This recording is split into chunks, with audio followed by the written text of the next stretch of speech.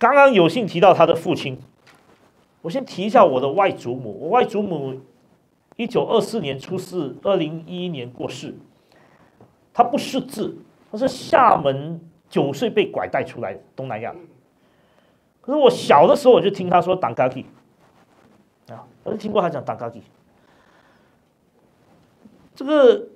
我们今天谈商跟文，不过我我想从先从陈嘉庚对政治的影响先谈起。像有幸的父亲，我的外祖母，他们都是不识字的。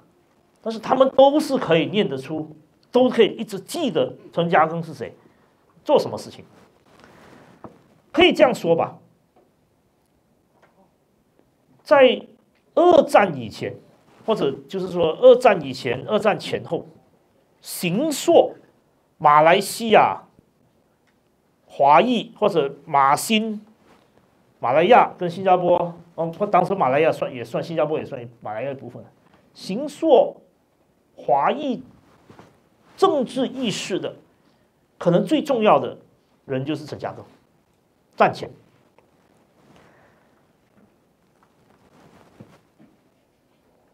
我们这样回去看一下，如果我们先从马来人的民族意识的起源谈一下，William Roth 在《The Origins of Malay Nationalism》里头提到，一直到一九三九年以前。在马来亚，马来人没有很强的马来人这样的意识，他是州属的，我是吉兰丹人，我是丁加奴人，我是柔佛人，他是州属的意识，但是一个泛马来亚的马来人的意识是几乎没有的，他只是在战争的时候，在二战的时候强烈的形成，因为二战。因为呃，这个族群的关系，因为战后一九四五年八月十五号到呃九月三号期间没有英国人在的时候的，在不同地方的族群冲突过后，很强烈的形成的马来人泛马来亚的这个意识。那么回头看一下华裔，在康有为、康有为跟孙中山。可能对华裔泛马来亚的华裔作为华人这个意识的影响是很大的，因为在那个之前，马来亚的华人基本上就是福建人、客家人，都是以籍贯作为中心的，以邦作为中心的，他没有一个泛马来亚的华人意识，所以安德森 Ben Anderson 说。民族的想象，民族是想象的共同体，就是本来没有这样的想象的，但是因为时代，因为历史，因为不同的事件，不同的呃经验，通过文字，通过博物馆，通过各种各样的记忆的形塑，通过领袖的介入，形成的意识。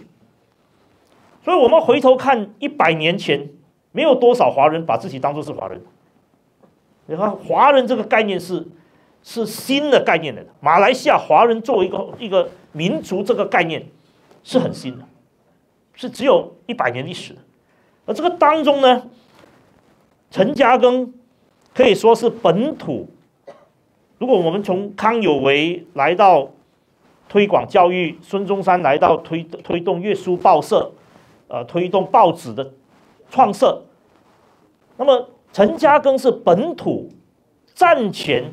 最重要的，对小市民有最重要的、最大的影响的政治人物。但是他没有政党派别，就是在一九四零年到延安以前，基本上他是完全没有政治派别的。可是他是对一般华裔民众形塑一个华裔的想法、华裔的意识呢，有着。最大的影响。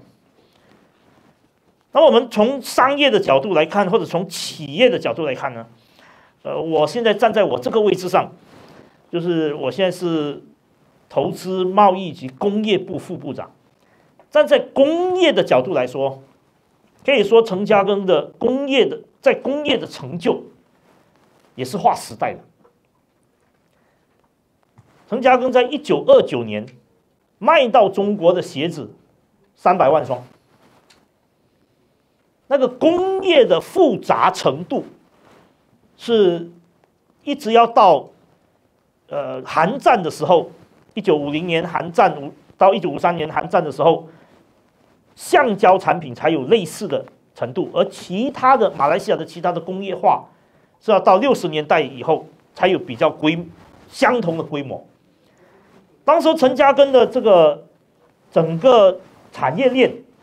是纵向或者是垂直产业链，它有橡胶园，它有中游的橡胶加工，它也有橡胶的制成品，包括鞋子，特别是鞋子。然后来也有轮胎，也有开发轮胎，所以它是在最前端的。那，英国人说它是 Henry Ford of Malaya，就是富特马来亚的富特，因为在工业化的复杂程度和整个垂直的产业链是做的是是最完整的。而他在后来影响的，包括李光前、陈六史他们的企业，都对后来马来西亚。的工业还有马来西亚的各方面的企业都有相当大的影响，但是陈嘉庚的企业其实追根究底，可能是从他的你从他的这个内心来看，可能是现代化的工具。就他最深刻的是什么？可能是现代化，他那个现代化的使命，要促进中国现代化。要靠企业，要靠教育，要靠各种各样的事情。我觉得可能回到去，他那个使命是现代化的使命。这个来到此时此刻，当我们我想有幸定这个呃主题以商养文，可能最后也是对商作为一个反省，可能对商这个概念作为一个反省。那你如果看陈嘉庚，如果根据戴渊的说法，戴渊在。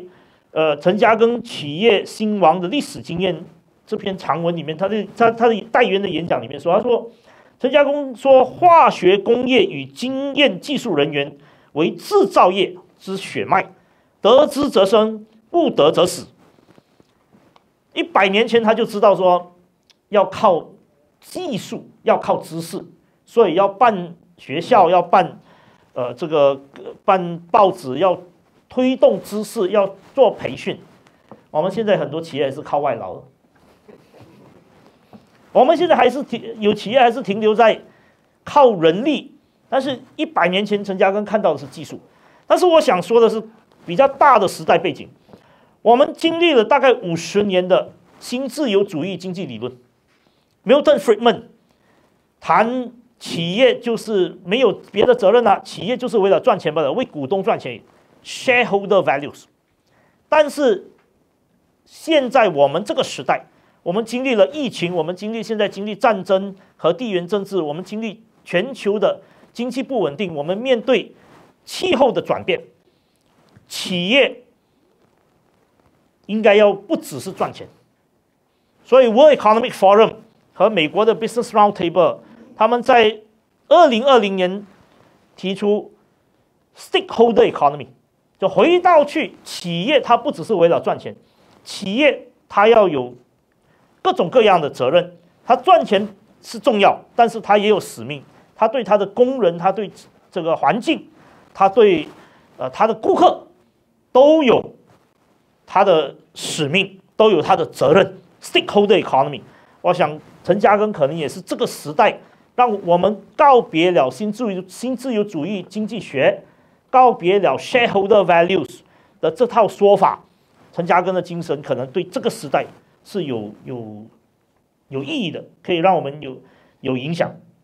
当然，陈嘉庚也是南洋商报的创办人，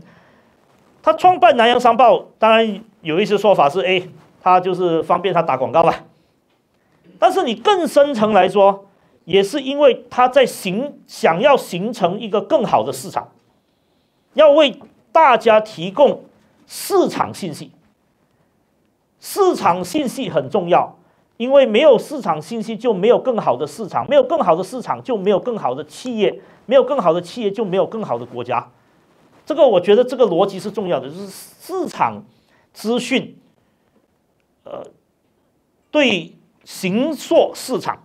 是非常重要的。市场不是自己来的，新自新自由主义经济学的想法是市场是自己来的，但是市场不是自己来的，市场是有公权力，就是政府的这个公权力的影响，有企业的操作，有科技的影响，有知识的影响。而